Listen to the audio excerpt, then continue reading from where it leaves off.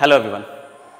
Uh, today I start uh, the C programming. I am Sunny Sharma and the teacher of Riddhi Siddhi Central School for the computer science and a class 8 I will teach at the class 8 the C programming.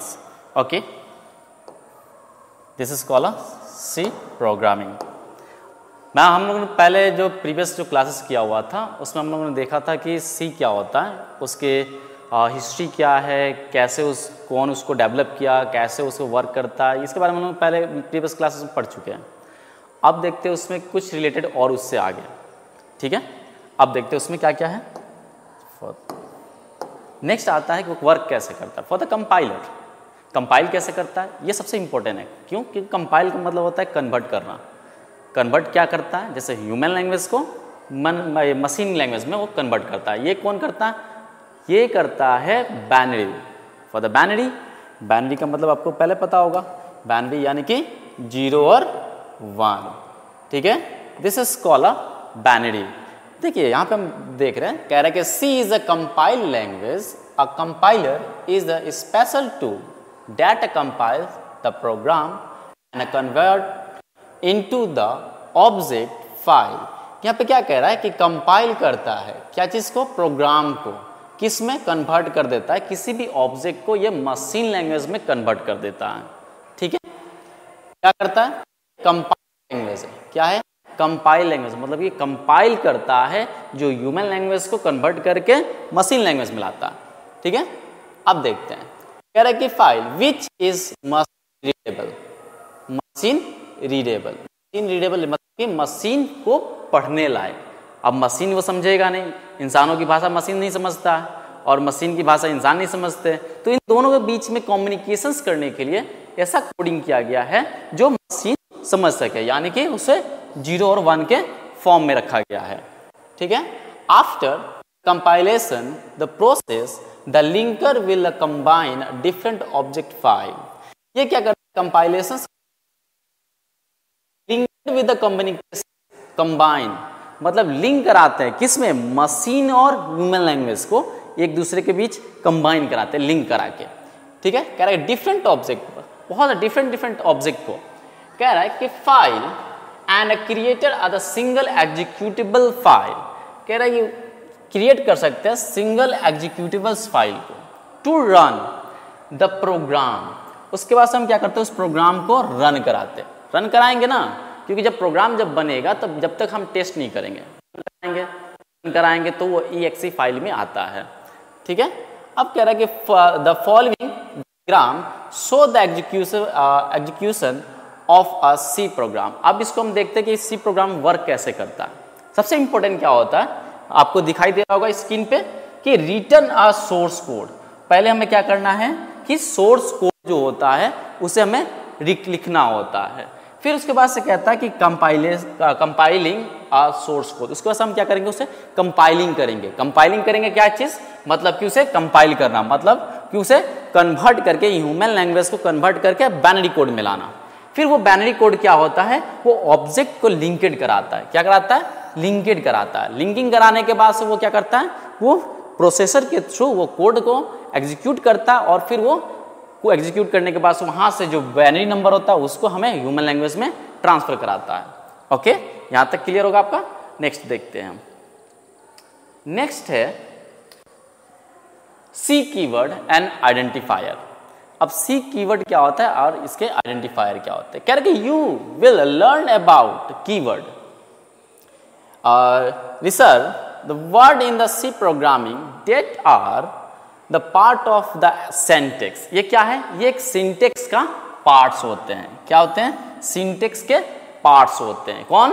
तो keyword और reserve ये दोनों के दोनों सी programming के सेंटेक्स के parts हैं। Also you will learn about identifier and how to name them अब हम इसके बारे में समझेंगे कि इनका नाम कैसे पड़ा और इनके क्यों आइडेंटिफायर कहते हैं। अब देखते पहले फ़र्स्ट आता है सी कीवर्ड ठीक है? सी कीवर्ड तो कह रहा है कि the keyword the keyword are the predefined reserve the word using use in the programming that have a special meaning कह रहा है कि कीवर्ड जो है, कह रहा है क्या चीज़? वन सेकेंड कीवर्ड जो है, वो क्या कह रहा है? यहाँ पे कह रहा है कीवर्ड कि ये जो कीवर्ड है are predefined reserve use the word using the programming that have a special meaning हर एक किसी का एक कीवर्ड का एक अपना स्पेशल मीनिंग होता है। वो हम जब यूज़ करेंगे कोडिंग जब हम आगे बढ़ेंगे और नेक्स्ट क्लासेस जब हम करेंगे, तब इसके बारे में हम समझेंगे कि कैसे ये इसका स्पेशल वर्क कैसे होता है। ठीक है? तो कह रहा है कि मीनिंग टू द कंपाइलर जब भी कंपाइलर जब कंपाइल करता है तो उसका मीनिंग को वो समझ के वो कंपाइल करता। The keyword are a part of the syntax and they cannot be use as an identifier for the example अब कैसे करेगा? अब एग्ज़ाम्पल में हम देखते हैं। जैसे यहाँ पे दिखाई दे रहा है आई एन टी आपको दिखाई दे रहा है? आई एन टी जो है, वो क्या है? इंटीजर है। ये क्या है? इंटीजर है। इंटीजर जैसे फ़र्स्ट ले लिए हम मनी मनी ले लिए हैं इंटीजर में तो कह रहा है कि हेयर आई एन टी यानी कि इंटीजर इज़ अ कीवर्ड ये क्या है? कीवर्ड है इंटीजर क्या है? आई एन टी ये कीवर्ड है that identify that indicate the money is a variable money क्या है? यहाँ पे मनी जो है वो वेरिएबल है. मनी क्या है? यहाँ पे मनी जो है वो वेरिएबल है. तो कह रहा है कि of a type I N T for the integer जैसे ही हम इंटीजर लेंगे इंटीजर क्या लेंगे हम? आई एन टी लेंगे। ठीक है? तब ये क्या करेगा? एग्जीक्यूट करके हमें रिज़ल्ट उसके लिए ये एक परफॉर्म्स तैयार करेगा। For the example integer change नहीं होता है बट और इसका वेरिएबल वेरिएबल हम चेंज कर सकते हैं। बा, उसमें क्या करते हैं हम? वेरिएबल चेंज करेंगे और उसका वैल्यू चेंज कर सकते हैं। अब नेक्स्ट देखते हैं। अब आता है सी आइडेंटिफायर सी आइडेंटिफायर कह रहा है कि identifier refer to the name given to entity such as a variable function structure etcetera कह रहा है कि आइडेंटिफायर क्या है? आइडेंटिफायर क्या है? तो कह रहा है कि refer name to entity such as a variable ये क्या है? कि आइडेंटिफायर क्या है? एक वेरिएबल है. कह रहा है कि फ़ंक्शन स्ट्रक्चर एटसेट्रा या तो फ़ंक्शन हो सकता है, हो सकता है या फिर स्ट्रक्चर हो सकता है, या फिर कोई अदर भी हो सकते हैं एटसेट्रा है तो कुछ अदर भी हो सकते हैं। तो फिर कह रहा है कि identifier must be the unique identifier क्या है? वो यूनिक यानी कि कोई एक ही होगा। They are connect to the given in the unique name to an entity to identify it during the execution of the program for the example अब इसका एग्ज़ाम्पल देख लेते हैं। कह रहा है कि आई क्या है? मनी आई इंटीजर है। मनी ले लिए जो वेरिएबल मनी यहाँ पे क्या लिए हम? वेरिएबल डबल जो है, क्या है ये? फ़ंक्शंस हो गया। अकाउंट बैलेंस ठीक है? अब कह रहे हैं कि here money and account balance are identifier क्या है दोनों को देना? आइडेंटिफायर है। कौन सा? मनी और अकाउंट बैलेंस जो है वो आइडेंटिफायर है। कह रहे कि also remember also remember identifier name must be different from a keyword कह रहा है कि आइडेंटिफायर जो है वो अलग अलग नामों से हो सकते हैं। किसमें? तो कीवर्ड में। You cannot use I N T यानी कि integer as an identifier because I N T is a keyword but I N T जो है वो चेंज नहीं कर सकते हैं। क्यों? क्योंकि आई एन टी जो है वो क्या है? इंटीजर है। ठीक है? अब नेक्स्ट देखते हैं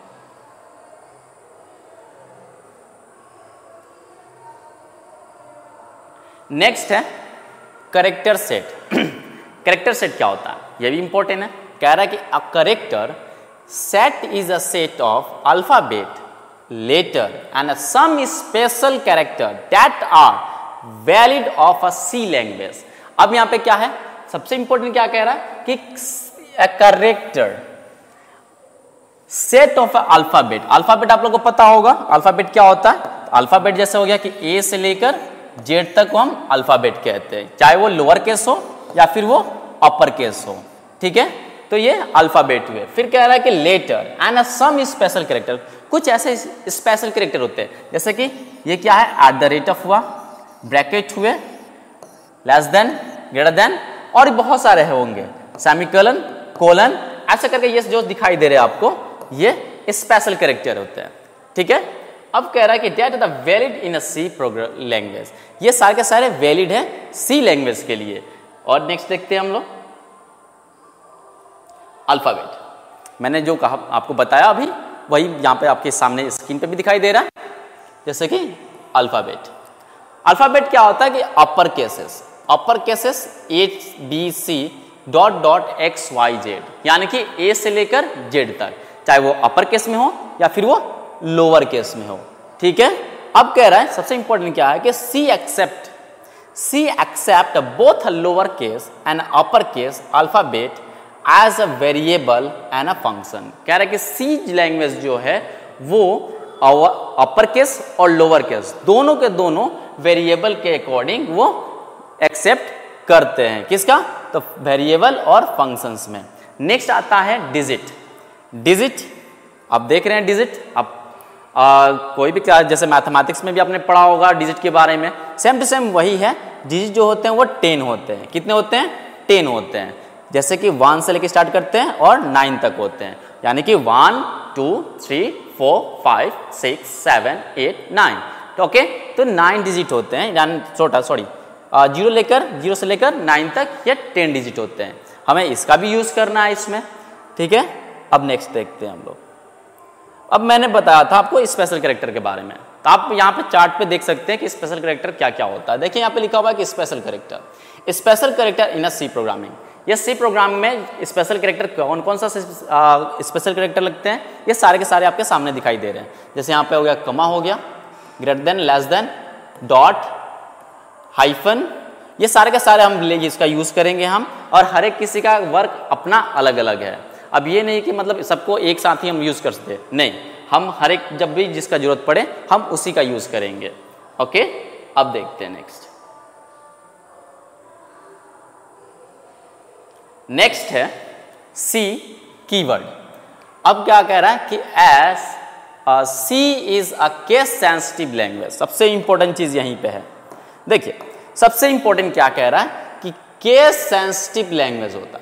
केस सेंसिटिव लैंग्वेज का मतलब होता है कि जो इसके कीवर्ड अगर दे दिए गए हैं, यानी सिस्टमेटिकली इसको सिस्टम जो है एक्सेप्ट कर चुका है पहले से, वही चीज़ हम डालेंगे। लोअर केसेस वो हमेशा लोअर केसेस में डालेंगे। अपर केसेस अगर हम लगा यूज़ करते हैं तो वो क्या करेगा? एरर शो करेगा। एरर से बचना है तो हमें लोअर केसेस का यूज़ करना होगा। तो सबसे कह रहा है, सबसे इंपॉर्टेंट क्या है यहाँ पे? केस सेंसिटिव लैंग्वेज ये सी और सी प्लस प्लस जो होते हैं, वो केस सेंसिटिव लैंग्वेज होते हैं। बाकी जो कुछ अदर लैंग्वेज जो होते हैं, वो केस सेंसिटिव लैंग्वेज नहीं होते हैं। तो ये एक्सेप्ट करता है केस सेंसिटिव लैंग्वेज के लिए। All a keyword must be return in a lower case जितने भी कीवर्ड कीवर्ड जो होते हैं, वो लोअर केसेस में। देखिए आपके सामने जितने भी दिखाई दे रहे हैं, ये सारे के सारे लोअर केसेस में हैं। फिर कह रहा है कि here is a list of all the keyword allow in A N S I C ठीक है? अमेरिकन अमेरिकन का एक कोड्स होता है, उसके अकॉर्डिंग हम इसको यूज़ करेंगे। देखिए यहाँ पे क्या है? Auto double I N T मैंने इंटीजर बताया हुआ था। स्ट्रक्चर का S T U S T R U C T okay break का यूज़ करेंगे। एल्स का long switch case enum register type drive character for the character का short name यहाँ पे लिखेंगे हम, क्या चीज़? C H A R character use करने के लिए। Extension return union continue for sign void do if statics while default go to size of wallet constants float short और अनसाइन ये सारे के सारे जितने भी आपको कॉन्स्टेंस ये दिखाई दे रहे हैं कीवर्ड ये सारे के सारे लोअर केसेस में रहेंगे। ओके हम इसका यूज़ कभी भी अपर केस में नहीं करेंगे। ओके अब नेक्स्ट देखते हैं। कुछ इसके रूल्स हैं। क्या है? तो कुछ इसके रूल्स हैं। अब क्या क्या रूल्स हमें फॉलो करना है? तो कह रहा है कि आइडेंटिफायर का कुछ रूल्स है जिसे हमें फॉलो करना होगा। ठीक है? तो कह रहा है कि rules of the mean naming identifier क्या क्या नेमिंग में इसका आइडेंटिफायर का नाम में हम यूज़ कर सकते हैं? तो कह रहा है the first number point A valid identifier can have the later. कह रहा है कि जो वैलिड आइडेंटिफायर है, वो क्या कह रहा है कि कौन कौन से लेटर को एक्सेप्ट करता है? तो कह रहा है कि both upper case and lower case letter upper case और लोअर केस के लेटर को वो एक्सेप्ट करता है। ठीक है? उसके से कह रहा है कि digit and underscore underscore आप लोग जाना, आप लोग को पहले से पता होगा तो ये अंडर स्कोर को यूज़ करते हैं। अपर अपर केस के साथ जब भी हम यूज़ करते हैं तो जैसे कि एच हो गया, और उसके बाद सॉरी जैसे आपको दिखा देते हैं, जैसे कोई अगर फिल करता है fill colour F I double L and under उसके बाद से हम कोई भी कलर दे दे सकते हैं, जैसे कि रेड तो ये क्या होता है? अपर केसेस में जब लेता है तो इसके लिए अंडर रूट देना पड़ता है। अंडर स्कोर देना पड़ता है उसके बाद ही हम इसका यूज़ कर सकते हैं। सेकेंड नंबर कह रहा है कि the first letter of an identifier should be either other letter और एन अंडर स्कोर कह रहा है कि जब भी हम इसका यूज़ करेंगे, कह रहा है कि the first letter of identifier should be the either other letter और एन अंडर स्कोर कह रहा है कि इसका जब भी हम यूज़ करेंगे अपर केसेस में तो एक आइडेंटिफायर में तो हम अंडर स्कोर ज़रूर देंगे। ठीक है? अब कह रहा है third number you can not use the keyword like I N T हम इसमें यूज़ नहीं कर सकते, क्या चीज़? I N T keyword well etcetera और भी हम कीवर्ड इसका यूज़ इसमें इस लाइन या इसके लिए हम यूज़ नहीं कर सकते। एज आइडेंटिफायर आइडेंटिफायर के लिए। आइडेंटिफायर में हम इसका यूज़ नहीं कर सकते। तो ये हमेशा ध्यान में रखेंगे हम। Fourth number there is no rule on how long an identifier can be अब ये इसका कोई रूल्स नहीं है कि कितना बड़ा आइडेंटिफायर हो। मतलब उसकी लाइनिंग कितनी लंबी तक जा सके। ये कोई इसका रूल्स नहीं है। यहाँ पे कह रहा है कि there is a no rule on how long an identifier can be कितना यूज़ हम कर सकते हैं, ये आइडेंटिफायर का इसका कोई रूल नहीं है। However you must run into the problem in some compiles और if the identifier is longer than 31 character जब भी हम कोई भी करेंगे तो ये कह रहा है कि प्रॉब्लम ना आए, क्योंकि कंपाइलर जो है, वो कभी भी कंपाइल करेगा आइडेंटिफायर को तो मैक्सिमम 31 कैरेक्टर तक ही करेगा। इससे ज़्यादा वो नहीं करेगा। ये चीज़ हम हमेशा ध्यान में रखेंगे। ओके अब नेक्स्ट कह रहा है कि you can choose any name as an identifier if you the follow the above rule above the rule however given a meaning uh, meaningful a name to the identifier that makes sense. ये हमेशा हमें याद रखना होगा कि identifier जो होता है वो मैक्सिमम 31 करेक्टर तक ही यूज़ हम करेंगे। इसके बाद हम यूज़ नहीं कर सकते। ठीक है? तो आज हमने क्या क्या देखा है? तो इसके बारे में हम एक बार डिस्कस कर लेते हैं। तो फ़र्स्ट हम देखते हैं कि कंपाइलर कैसे वर्क करता है। कंपाइलर में क्या क्या होता है? तो जैसे कि यहाँ पे है, वो है कि सोर्स कोड पहले हम यूज़ करेंगे, फिर वो कंपाइल करेगा कंपाइल करेगा। जो प्रोसेसिंग के अकॉर्डिंग कंपाइल करता है, फिर उसके वो लिंकेड कराता है किसमें? ऑब्जेक्ट को लिंकेड कराता है और फिर उसको वो रिज़ल्ट हमें एग्जीक्यूट कराता है। फिर उसके बाद से क्या हमने देखा कि सी का जो की वर्ड है, और आइडेंटिफायर क्या होते हैं। आज के क्लास में यही है। कि जैसे कि सी कीवर्ड क्या होते हैं तो सी कीवर्ड जैसे कि ये आई आपको दिखाई दे रहा है। This is call a C keyword यानी कि ये क्या हो गए तो ये कीवर्ड होते हैं। तो ये चीज़ हमेशा हम याद रखेंगे ये जो चीज़ है वो क्या है? तो की वर्ड है। तो हमेशा हमें याद रखना होगा कि सी कीवर्ड यानी कि इंटीजर और भी बहुत सारे हैं जो मैंने आपको अभी थोड़ी देर पहले चार्ट के अकॉर्डिंग दिखाया हुआ था। तो ये सारे के सारे हम यूज़ करेंगे। फिर कह रहा है कि C character character set character set मैंने भी आपको बताया कि कैरेक्टर से क्या सेट क्या होता है। जैसे अल्फ़ाबेट लेटर होते हैं, उसके बाद से आता है सम स्पेशल स्पेशल करेक्टर जैसे ये for the this is call the special character ये सारे के सारे जो दिखाई दे रहे हैं आपको, ये स्पेशल करेक्टर हैं. This is call alphabet character और भी बहुत सारे लेटर्स का हम यूज़ में यूज़ कर सकते हैं। अब नेक्स्ट आता है, देखिए यहाँ पे है अल्फ़ाबेट देखिए, यहाँ पे अल्फ़ाबेट है। अल्फ़ाबेट मैंने आपको पहले बताया था कि अल्फ़ाबेट के बारे में कि अपर केसेस का यूज़ करते हैं।